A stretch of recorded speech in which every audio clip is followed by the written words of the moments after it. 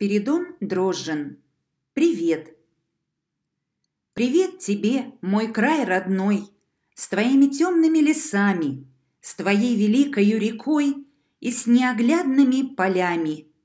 Привет тебе, народ родимый, Герой труда неутомимый, Среди зимы и в летний зной. Привет тебе, мой край родной.